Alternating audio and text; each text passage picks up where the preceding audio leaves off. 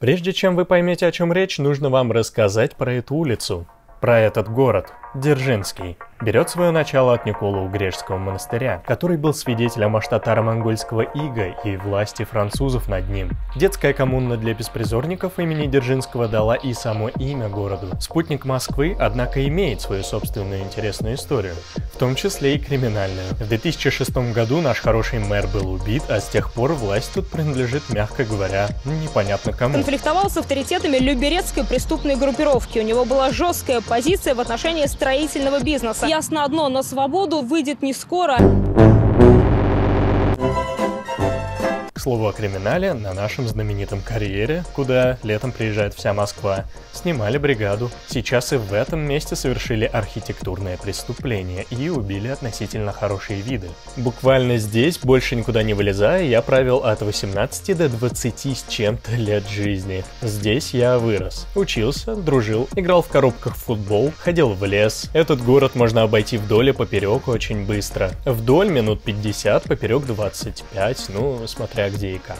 Все близко, все друг друга знают, особенно школьники. Когда-то я знал, куда мне не стоит соваться, а где можно и погулять. У меня были свои любимые магазины и лавочки, я тусовался в подъездах очень многих домов. И если подняться до высоты человека, который пялится в экран монитора. Что мы здесь видим? Город — это сплошные промзоны и другие закрытые предприятия, а внутри него маленький кусочек жилого массива. На юге Никола-Угрешский монастырь, и единственный адекватный завершенный квартал старой застройки примыкает вот, вот здесь вот рядом. Далее небольшое количество милых сталинских домов малоэтажности, ну а потом... А потом по полю со всего размаха раскидали хрущевки и брежневки. В целом город развивался на северо-восток. Последние дома у леса и воды введены в эксплуатацию в 2020 году. Судя по Викимапе, эта территория называется лесным микрорайоном. И я этого не знал. Он как раз и примыкает к интересующей меня улице. Может быть, это было не так, но мне кажется, на лесной улице я провел большую часть жизни. Только потому, что я на ней жил. Отсюда уезжал мой автобус, приезжал тоже сюда. Часто ходил здесь в магазины по обеим сторонам от моего дома, один из которых снесли и соорудили на его месте какой-то непонятный пешеходный обрубок под названием Аллеи Славы, а другой переделали под очередную невнятную трехэтажную коробку. По этой улице мы ходили с дедом в лес, кататься на лыжах, по ней мы с бабушкой по выходным ходили на рынок и покупали кучу печенья. Ее мы с мамой пересекали, когда ходили к маминой подруге, соответственно и к сыну маминой подруги. Да, можно удариться в воспоминания, сентиментализм, но это не главное. Главное то, что я здесь все знаю и все помню. Хотя это не значит, что я знаю, как нужно сделать лучше. Я знаю, как лучше только благодаря своей специализации. Вот э, то, что я здесь все помню в этом городе, это лишь добавляет э, к тому, что я немножко больше знаю контекст. Улица Лесная, кто бы что ни говорил, главная улица города. Здесь много активных фасадов, какое-никакое общественное пространство. Она находится в центре застройки между Либерецким карьером и монастырем. А начинается она от главной площади Дмитрия Донского и идет до самого леса. Формально она идет дальше вдоль лесного массива и заворачивает в сторону испытательного полигона, там где-то в лесу уже за другим Зиловским карьером, в который, кстати, до сих пор свозят мусор из Москвы, я подозреваю.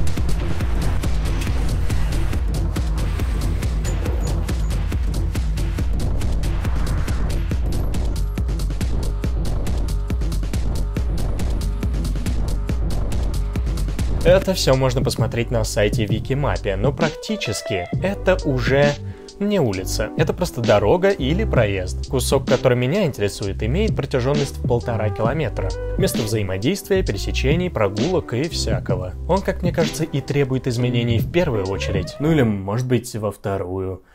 Не знаю, боже мой, какая разница, как говорят, это мой блог, я делаю здесь все, что захочу. Проектировать улицу. Как это сделать? Как это все можно провернуть? Да, довольно просто. Для концепции не нужны сверхточные оцифрованные чертежи, тем более такие достать тяжело, делать их дорого, а в городе каждый год что-то меняется, то забор появится, то его уберут, лавки, новые деревья, на перекрестках появляются круги каждые 5 лет и так далее. Скажите, можно использовать съемки со спутника, Яндекс или Google, но они как раз наоборот недостаточно точные. И в этом случае можно ошибиться на полметра, метр, а в конце концов таких неточностей наберется на ширину дороги. Или дома. По таким картам нельзя нормально проанализировать геометрию, однако они пригодятся. Ну, теоретически, теоретически можно отснять эту улицу сверху с разрешением 4К. Главное успеть это сделать, пока единственная батарейка на дроне не сядет. Теоретически, для этого можно позвать друга, к которому ты сядешь в машину и проедешь по этой улице, поспевая за квадрокоптером. В конце концов, у тебя останется заряд поснимать что-то еще. Теоретически. Дальше из имеющегося видео можно вытащить скриншоты. Каждые 30 секунд вынимать по одному кадру, чтобы положение в пространстве менялось, и это изменение происходило заметно. Ну и чтобы фотографии можно было склеить автоматически в фотошопе. Кстати, это не сработало. Из-за изменения положения квадрокоптера по высоте относительно Земли склейка произошла довольно неточно. Э, как я это проверил? Как раз взял скриншот с карты Яндекса и сопоставил друг с другом. Я сопоставил концы улиц, думал, что все хорошо, а оказалось, внутри этого отрезка перекрестки гуляют в промежутке целых 20 или 30 метров. Панорамы пришлось склеивать самому, накладывая скриншоты из видео на скриншоты из карт Яндекса. И все это в достаточно большом разрешении. А мне кажется, это один из самых точных способов из э, всех у меня имеющихся. Результат получается неплохой, и чтобы долго не задерживаться на очень интересной, в скобочках нет, для вас теме, перебрасываем это все в чертежную программу. Подгоняем по масштабу, взяв масштабную линейку с картинки Яндекса, 10 метров на картинке делаем 10 метрами в программе. Как сделать еще точнее? Проверить дистанции от конкретных точек в больших расстояниях. Взятая длина на картинке равна длине в программе. Все просто. Ну а как проверить, что я прав, если вдруг, если вдруг мы еще сомневаемся, что эта карта правдива довольно? Э, в общем-то, у меня есть одна профессиональная шутейка. Она лично моя.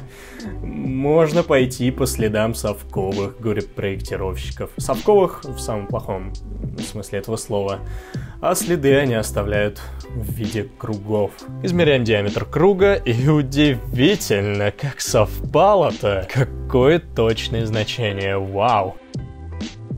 Все готово, чтобы взрывать пуканы яж автомобилистов, спидигонщиков, своих пацанов с района и других видеорок, где бы они ни были. Но вообще-то, вообще-то, никому в обиду, я лишь за восстановление справедливости для участников движения. Возвращение города или конкретной улицы людям. Чтобы это сделать, всегда берем на вооружение перевернутую пирамиду приоритетов, где самым важным для города является пешеход, а самым бесполезным автомобиль на стоянке. Да, представляешь, твой железный конь стоит на самом последнем последнем месте, не обижайся. Господа, эта пирамида одна переводит на себя все внимание и требует целой не то чтобы лекции, а курса лекций. О том, почему она такая и почему современные города всего мира следуют именно этой схеме. Но я рассчитываю на то, что мои зрители либо уже видели мои предыдущие работы, либо еще увидят, а также понимают, что все, что я делаю сейчас, основывается на том, что я уже сказал или сказали другие профессионалы, специалисты и так далее. Спорить по поводу этой пирамиды можно лишь в том, учли мы что-то или не учли, но сама идея для меня остается неоспоримой. Помимо того, что я сейчас сказал, сразу уходить в крайности и проектировать город-сад, это невероятно глупо и невыгодно. Можно замоделить улицу уже для летающих автомобилей и оправдывать это тем, что мы строим город будущего. Однако мы живем здесь и сейчас. Безопаснее и комфортнее улицу нужно сделать именно здесь и сейчас. И не бояться того, что через 10 лет произойдут новые изменения. А на данный момент автомобили никуда не денутся. И я сделал делаю для них много парковок. Велосипедисты сразу не появятся, поэтому я создаю для них хоть какую-то инфраструктуру. А перекапывать всю позднесоветскую улицу от фасада до фасада никто не будет, поэтому ради удешевления работ все изменения будут происходить примерно в границах дороги и прилегающих тротуаров. Заодно можно попробовать доказать, что изменения к лучшему возможны даже при небольших бюджетах, относительно небольших. Все это указывает на то, что проект не будет идеальным ни для одного представителя разных участников движения.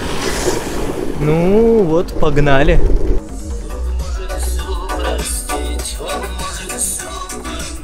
Простраиваем существующие оси, смотрим, изменяет ли улица свое направление. Ну хорошо, я начал не с этого, уж очень мне было интересно, какую ширину полос эта дорога имеет. Откладываем параллельные линии на кратное подходящее расстояние и выясняем, что крайние полосы имеют ширину 4 метра, а средние 3,5. И так на всем протяжении, кроме участка ближе к лесу, где всего две полосы встречного движения, и каждая из них более 5 метров. На некоторых перекрестках, где место позволяло, там дорога разошлась как только могла. В общем-то и по снимкам видно неиспользующиеся участки, которые отходят под нерегулируемую парковку, уходя с которой ты рискуешь попасть под колеса. Так, я посчитал, нам необходим такой маленький онлайн-формат, немножко стримерский кусок, ну потому что это нельзя не оставить без настоящей живой реакции. Господи, это просто нечто. Я не знаю, куда смотреть. Э, эпичным примером деградации архитектуры и городской среды является вот, конечно, вот это место. Вот вы его, вот,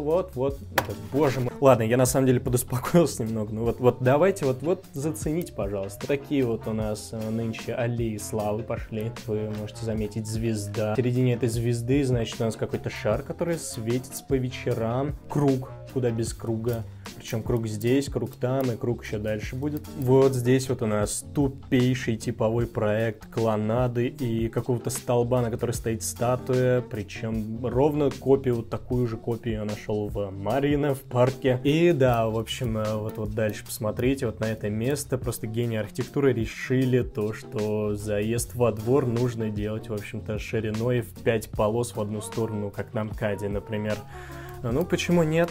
Пожарные нормы. В данном случае пожарные нормы не соблюдаются благодаря этой парковке. Но ничего, ничего. Нормально, нормально. У нас же пожарные на вертолетах летают. Фу, на мотоциклах ездят. Они могут вот так вот, вот так вот объехать это все. Лестницу привезут на мотоцикле поднимутся на этаж, предотвратят гибель людей. Честно говоря, хоть отдельное видео делай про конкретно это место в городе, сколько здесь допущено ошибок, сколько здесь наплевательского отношения, просто халатного наплевательского отношения.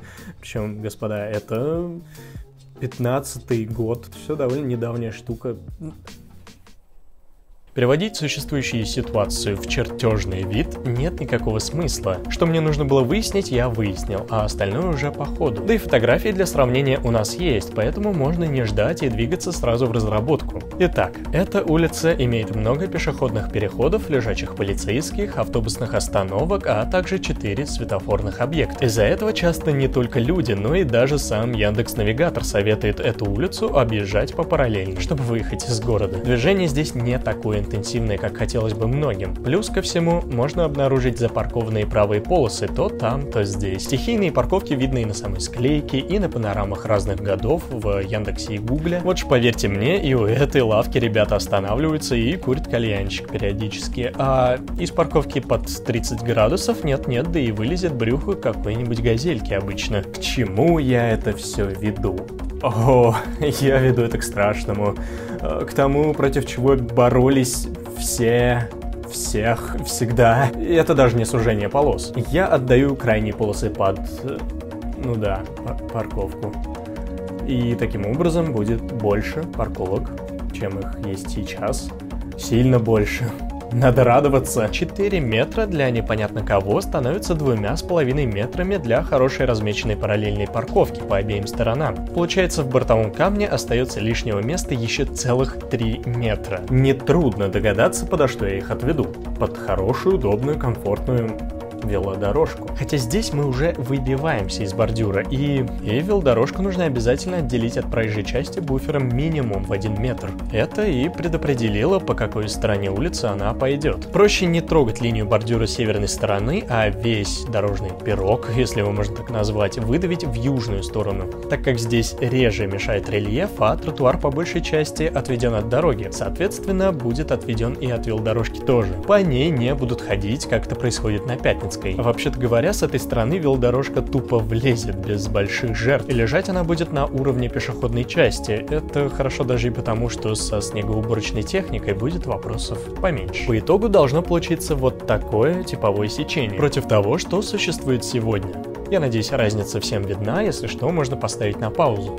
Автобусные остановки и пешеходные переходы будут смещаться, а то и появляться новые. Места параллельной парковки я размечаю как 5,5 на 2,5 метра и объединяю в группу из 5 парковочных мест между разбивками. Или, как их называют, ушами. Эти места отводятся или для зелени, или для фонарных столбов, или для всего сразу. К слову о фонарных столбах. Их частота, их расположение ближе к оси дороги, мне кажется, дает возможность поставить что-то более приятное и уютное, чем эти пятиэтажные огромные убогие столбы. Низкие, современные или фонари под старину. Шаг этих выступов между парковками я постараюсь выдерживать одинаковым настолько, насколько у меня это получится. Спойлер, получится неплохо. Намечаю островки безопасности в некоторых местах, куда без них Привет, Инне Светенко. И пока Инне Светенко не нужна ты мне здесь, кстати, об островках.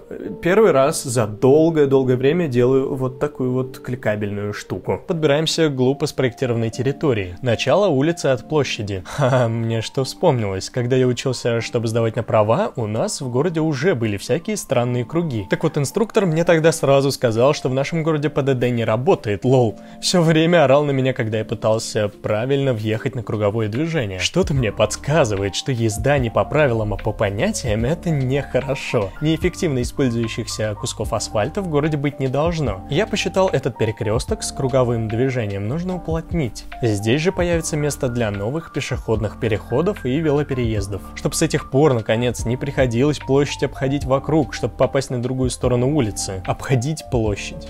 По площади ходят, они обходят, где это вообще слыхано. Острее угол выезда, меньше скорость автомобиля. Больше времени увидеть пешехода и велосипедиста. Между прочим, таким все круглым и, казалось бы, красивым оставаться тоже не может. Так как водитель автомобиля и велосипедист в таких местах при выезде или въезде на перекресток оказываются практически параллельны друг другу. Они оба взаимно могут пропасть из поля видимости. Угол пересечения в таком случае нужно увеличить. В целом площадь надо решать по-особенному. В комплексе комплексе. Это ж площадь. На День города здесь проводятся мероприятия, и прилегающая улица от этого места до ближайших перекрестков здесь перекрывают автобусами или другой техникой. Перекресток здесь с помощью круга однажды очень сильно разнесли. Асфальтовую поляну, которую по итогу оставили, явно можно было бы замостить рельефной брусчаткой или булыжником. Что это даст? Механически снизит скорость транспорта, особенно это касается автомобилей, которые несутся с горки по улице Ленина. На уровне ощущений больше отдаст эту территорию пешеходам. Тем более она и так становится их территорией один или парочку дней в году. Дребезжание колес будет будить студентов,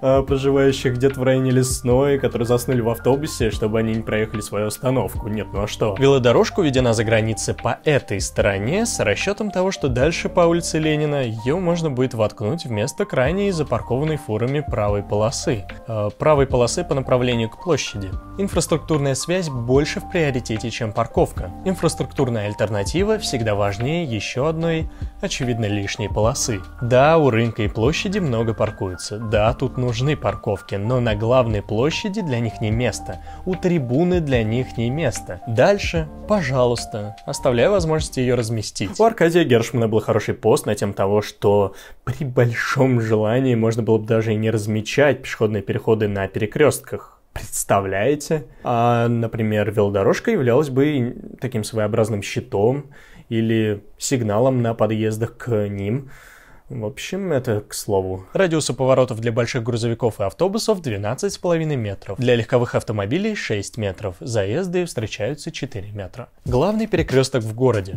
У меня нету подсчетов, но на моей памяти здесь он был и остается самым активным. Больше всего волновало пересечение велодорожки с пешеходными потоками. Но для пешеходов я выделил достаточно места для ожидания, и в целом серьезных конфликтов быть не должно. Островков здесь нет, так как и мест для них нет, а перекресток регулируемый.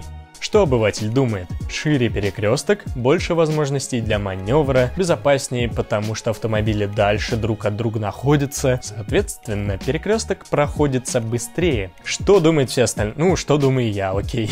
Уже перекресток, светофоры расположены ближе к водителям, необязательное возведение больших мачт, короче пешеходные переходы, а соответственно время их прохождения. Водители более осторожно проезжают узкий перекресток, они летят на желтый свет, нет, так безопаснее. Спустя некоторое время уже второй круг на втором конце улицы, тот что у леса, вызвал у меня головную боль. Вся проблема в конечной остановке двух маршрутов, а в будущем может получиться и больше. Нужно уместить хорошую площадь, дать отстояться хотя бы трем автобусам и нескольким маршруткам, и И, признаться, я отталкивался от существующего круга в физических бортах, и таким образом получается очень странная, не совсем вместительная площадь.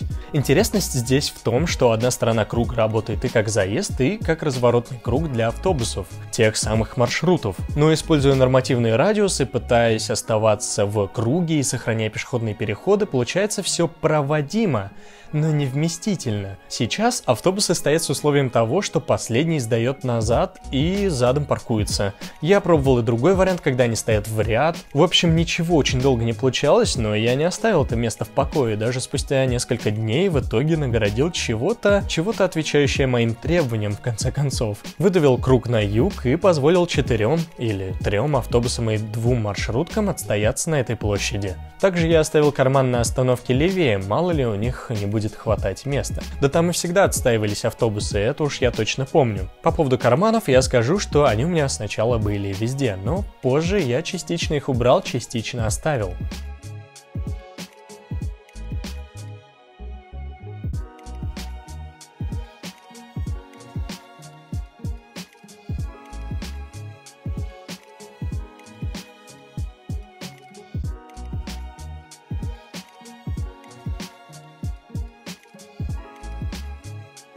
Я все не могу понять, была ли какая-то логика расстановки этих лестниц у рыжего дома. В общем-то, размечать парковку там ни к чему. Сколько влезет автомобилей, столько влезет, а они сами разберутся. Хотя у меня есть подозрение, что без разметки вмещаться будет периодически меньше, чем с ней. Потому что вставать будут как попало и отгрызать куски пространства. Главное, что нам нужно сделать, отгородить ушами подход к лестницам, обезопасить. Значит так, проектирование на самом деле заняло у меня большую часть времени. Проектирование заняло большую часть времени, и потому само видео будет из разряда простого повествования с описанием. В кадре должно что-то происходить, что-то меняться, цепь цеплять вас.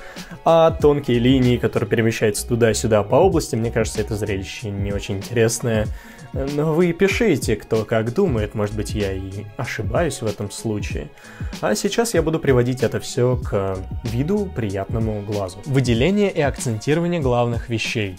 Границы дороги, границы велодорожки, чтобы было все контрастно и понятно. Парковки тоже можно выделить визуально, а соответственно и физически, булыжником или плиткой, что в каком-то смысле перемещает границу территории автомобилистов в пользу пешеходов. Дальше чертить смысла нет. С помощью YouTube можно попробовать что-то интересное, попробовать ручную подачу. Тем более масштаб намечен, если нужно что-то не глобальное исправить, сделать это можно довольно просто. Нужен какой-то маленький итог, маленькая презентация. В общем, все, все то, к чему это все шло. Важно помнить, что формат такого видеоблога ставит перед собой задачу в первую очередь показать возможность чего-то, а не сам проект, который может обсуждаться месяцами, а то и годами.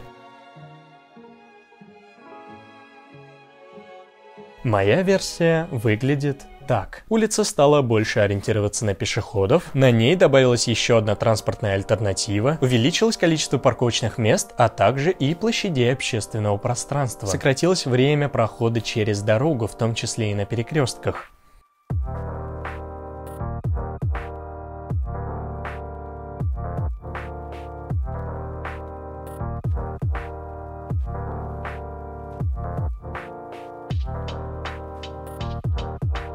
Мой комментарий по поводу двусторонней велодорожки, которая считается довольно неудачным вариантом велоинфраструктуры. К ним есть много претензий, и я постараюсь кратко объяснить свое решение. Во-первых, проблемное пересечение перекрестков когда нужна своя собственная светофорная фаза, либо нужно уворачиваться от пешеходов. Тут я ставлю на второе. Перекрестков на этой улице не так много, а на том, где стоит светофор, я думаю, велосипедисты могут пересекать его в одну фазу с пешеходами, которым я постарался отдать в этих местах побольше пространства. Второе — контринтуитивный дизайн. Когда, находясь на определенной стороне улицы и ожидая движения транспортных средств лишь с одной стороны, вы можете попасть в ДТП, не ожидая велосипедиста с другой. И я стараюсь на всем протяжении держать велодорожку как можно можно дальше от пешеходов и от дороги, чтобы она воспринималась как обособленный объект, при пересечении которого все-таки возникает мысль посмотреть направо-налево, а не просто налево. Третье – неудобство при достижении пункта назначения. Если вдруг интересующее вас место находится на другой стороне улицы, вам приходится пересекать дорогу. Но тут все еще глупее. Даже в случае с велодорожкой по обеим сторонам улицы велосипедисту не удастся просто спешиться, поставить велосипед и зайти в кафе. На такой улице, как здесь, он в любом случае вынужден преодолеть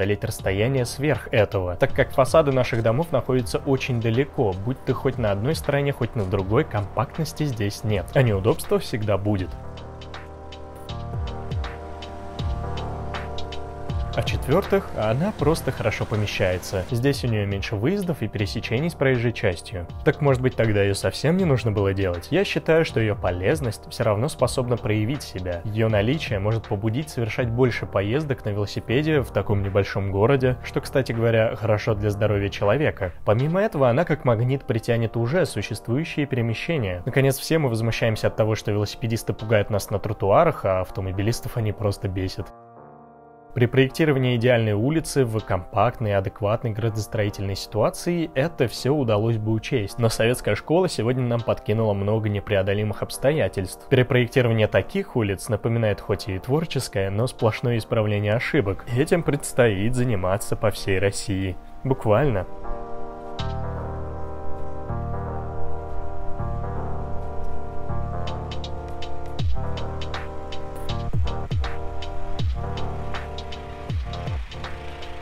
Нету возможности капитального преобразования, на помощь приходит тактический урбанизм. В тех границах, в которых сейчас нарисована концепция, это очень легко организовать, как и было задумано.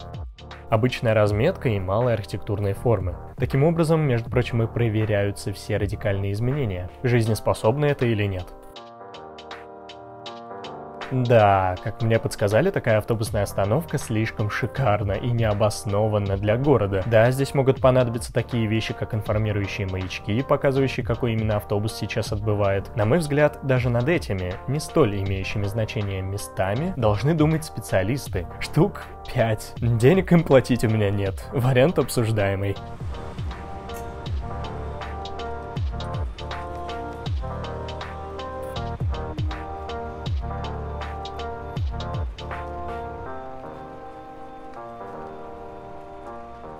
Если ее можно так назвать, то форма улицы стала более безопасной. Мест, где автомобили перекрывают пешеходов на переходе, не встречается. Хотя, Насчет безопасности все же есть оговорка. Я начертил так, как начертил. Однако безопаснее сделать можно. Можно сделать больше островков безопасности. Можно сделать парковочные карманы не 2,5 метра, а 2 метра. И я вам больше скажу. Господин Гостофил или мистер, ты порочишь наши идеи урбанина можно было сделать лучше. Может быть, это прозвучало глупо. Я к вам отношусь нормально. Просто напоминаю, что здесь звучало слово «концепция». Оно звучало. Конечно, она должна быть в пределах норм. Ну или хотя бы около них. Я ее постарался сделать такой. А то, что можно было сделать лучше, да, да, да, да, да.